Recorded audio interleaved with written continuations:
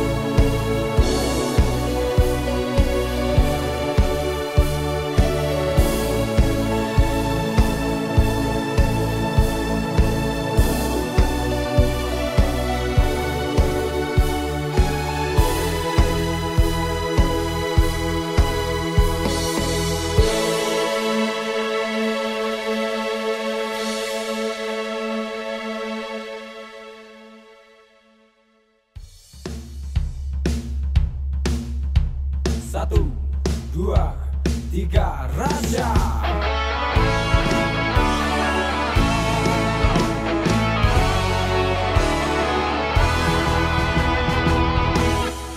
Lanjut dulu.